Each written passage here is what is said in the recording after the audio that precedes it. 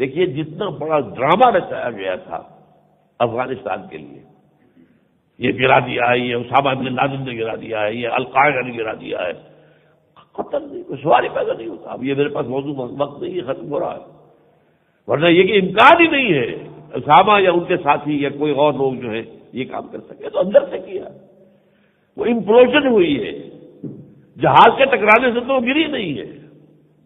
اس لیے کہ جہاز سے ٹکرا کر کوئی شے گرتی تو ترچیوں پر گرتی نا۔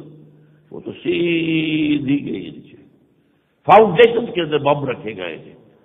جو پھٹے ہیں تو انہوں نے سارا لوگ جو اسٹرکچر تھا اسٹیل اسٹرکچر اس کو پگھلا دیا ہے۔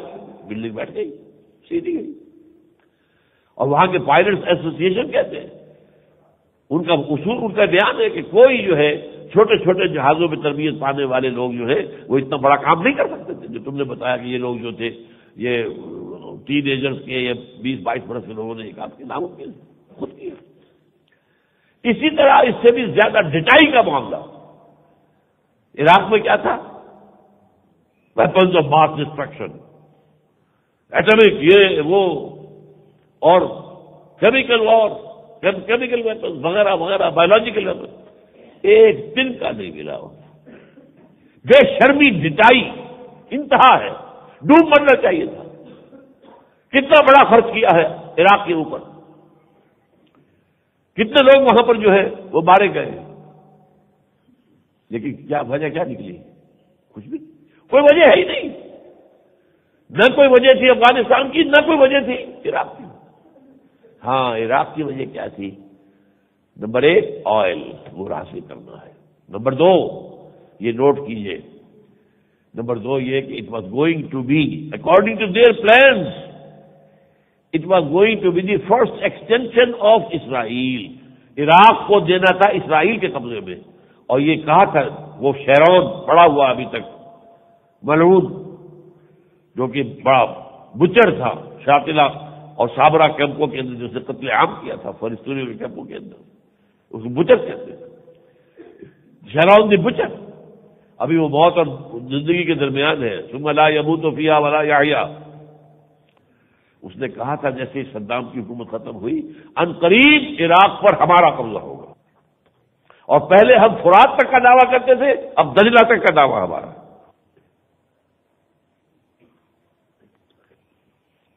بہرحال، عراق کے بارے میں بھی اب اس کے بعد یہ بھی نوٹ کر دیجیے دو ہزار پانچ میں بش نے فوج کو حکم دے دیا تھا کہ سعودی عرب اور پاکستان پر بھی حملہ کر دو۔ پینٹیگون نے کہا کہ though we are already overstretch یہ ان کے اپنے اخبارات نیو یارک ٹائم کی خبر ہے۔ ان کا کہ نہیں اب تو پہلے ہی سے اتنے پھیل چکے ہیں۔ ہمارے اتنے دور دراز کے علاقوں پہ اتنے بڑے بڑے جو بیسز چل رہے ہیں اور جو اپنے جنگ کی بٹی نکار رکھی ہے، عراق کے اندر بھی کہیں سے نکلنا مشکل ہو رہا ہے وہاں سے۔ اور افغانستان تو نکلنا گیا نکلنے کا سوال ہی نہیں۔ ابھی حال ہی میں ہمارے پاس اب آپ آئے تھے، بلوچستان سے وہ بتاتے ہیں کہ جس طرح کی تعمیرات ہو رہی ہیں، پاکستان کی سرحد کے ساتھ ساتھ جس طرح کے بنکرس بنائے جا رہے ہیں، وہ تو افغانستان میں تو رہیں گے۔ اس لیے کہ انہیں اندیشہ ہے کہ اسلامی سولیزیشن کا احیاء یہاں سے ہونے کا اندیشہ موجود ہے۔ اور جو آخری قریبی جنگیں ہوں گی، اس کے اندر یہاں سے جائیں گے لوگ، جو کہ جو ہے اس کے فیصلہ کو رول پلے کریں گے۔ لہٰذا انہوں نے اس کو باہر وہاں پر تو رہنا ہے، ہر حال میں رہنا ہے۔ اب میں آخری بات پر آتا ہوں۔ پس سے باعث کرنا کرنا کیا چاہیے؟ یہ جو چند باتیں میں اس وقت کرنے چلا ہوں، یہ نوٹ کر لیجیے، مجھے کوئی امید نہیں ہے کہ کوئی میری بات سنے گا۔ اور جو لوگ ذمہ دار ہیں، ارباب حل و عقد ہیں، ان کے کانوں پر بھی جوں گے گی، مجھے کوئی امید نہیں۔ ہے لیکن یہ ہے کہ چند چیزیں ہیں جو میں تجویز کر رہا ہوں۔ اس صورت حال میں اگر تبدیلی چاہتے ہیں، اگر اللہ تعالیٰ جو ہے امریکہ نے بہت زیادہ بڑی کامیابی جو حاصل کی ہے، وہ ایک ہی ہے۔ اور وہ یہ کہ اس نے اپنی سلیبی جنگ کو پاکستان کے اندر ٹھوس کر اور پاکستانیوں سے یہ باور کرا لیا کہ یہ ہماری جنگ ہے۔ حالانکہ کہا تھا حملہ کرتے ہوئے؟ وہ جو جو بھی جو کچھ آپ کو معلوم ہے، جو ہمارے مشرف سے مکالمہ ٹیلی فون پر ہوا تھا، اس میں ایک ٹیلی فون کی دھمکی کے اوپر جو ہے وہ پتاشے کی طرح بیٹھ گیا۔ دھمکی میں مر گیا کہ نباب نبر تھا۔ دھمکی میں مر گیا، ختم۔ اور سولہ ستمبر دو ہزار ایک کو میں پریزیڈنٹ ہاؤس میں منہ پر کہہ کر آیا ہوں، جبکہ وہاں کچھ علماء کا، کچھ صوفیہ کا انہوں نے اجلاس بلایا تھا، مجھے نہ کیسے بلا لیا تھا، میں گیا وہاں۔ میں نے کہا، اگر آپ اس وقت امریکہ کا ساتھ دیں گے، یہ عدل اور انصاف کے مسلمہ اصولوں کے خلاف بغاوت ہے۔ جرم ثابت نہیں ہے کسی کا جرم ثابت نہیں۔ کیا اسامہ کا جرم ثابت ہے؟ ثابت کرو۔ ملا عمر کہہ رہے تھے کہ ہمارے ہمیں ثبوت دو آپ پکڑ دیں گے اس کو، ہم دیں گے سزا اس کو۔ وہ ہمارا مہمان ہے، لیکن ہم اسے اس طرح کام کرنے کی اجازت نہیں دے سکتے۔ بٹ گیو اس ایویڈنس نہیں طالبان کا کوئی ایویڈنس ہے، پھر یہ اتنی بڑی سزا کس بات کی؟ کون سے اصول ہے یہ؟ نمبر دو، اگر آپ نے اس وقت امریکہ کی مدد کی طالبان کے خلاف تو یہ غیرت اور حمیت کا جنازہ نکلنے والی بات ہوگی۔ طالبان کی حکومت کو ہم نے اسپانسر کیا تھا۔ طالبان کا ہمارے پاس ملا ضعیف اسلام آباد میں سفیر بیٹھا ہوا تھا۔ اور ایک دھمکی کے اوپر پتاشے کی طرف بیٹھ گئے غیرت نام تھا جس کا گئی تیمور کے گھر سے۔ غیرت رحمیت کی کچھ ہے۔ اور آخری بات میں نے کہی تھی، یہ اللہ کے خلاف بغاوت اللہ کے دین کے خلاف بغاوت ہوگی۔ کہ ایک مسلمان ملک پر ایک کافر حکومت کی حملے میں اس کی مدد کی جائے۔ کہا رہے اسلام ہوا یہ جو بھی کچھ تھا، مسلمان ملک تھا نا۔ اور وہ جو کچھ بھی ہے، کافر حکومت ہے۔ ان کی مدد کرنا۔ یہ تو گویا کہ اللہ کے خلاف بغاوت ہے۔ اور میں نے کہا تھا یہ جو آپ کہہ رہے نا، یہ مجھے ہو جائے گا، وہ ہو جائے گا، ہمارے ایٹمک اثاثات محفوظ ہو جائیں گے۔ اور یہ کہ ہمارا کہیں میں کچھ نہیں ہوگا، یہ صرف سہانے خواب ہے، بلکہ ان قریب آپ کا نمبر بھی آ کر رہے گا۔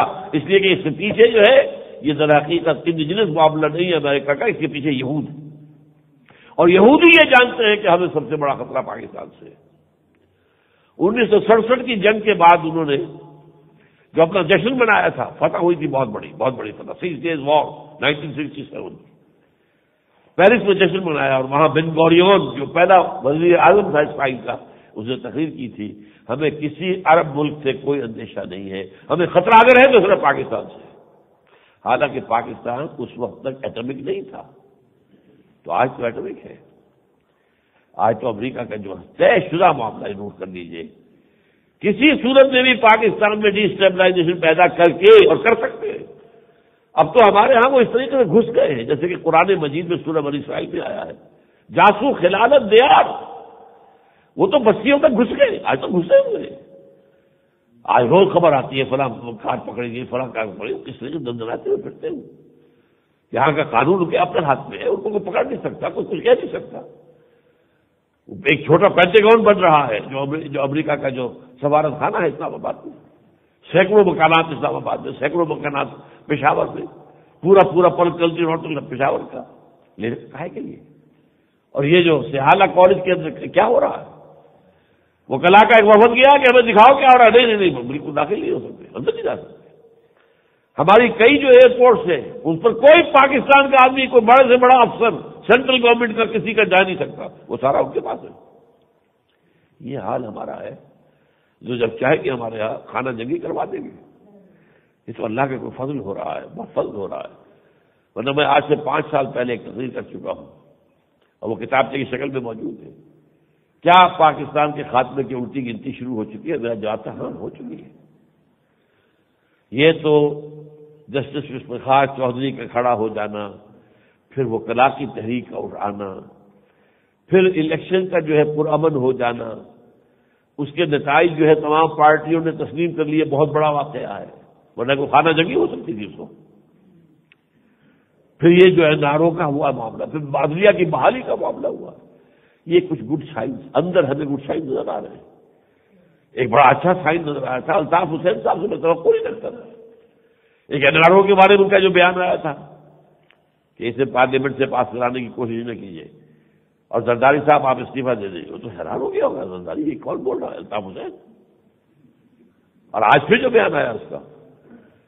اگر اس این آر او کے خلاف جو بھی کام ہو رہا ہے، این آر او کے ختم ہونے کے بعد جو جوڈیشل پروسیس شروع ہوا ہے، اگر اس کو روکا گیا، تو اگر آپ نے میڈیا اور عدلیہ کے خلاف جنگ جاری کی تو پھر آپ کے ہاتھ میں کچھ نہیں رہے گا۔ آج کا بیان ہے، الطاف الطاف حسین کا۔ اچھا بیان ہے۔ لیکن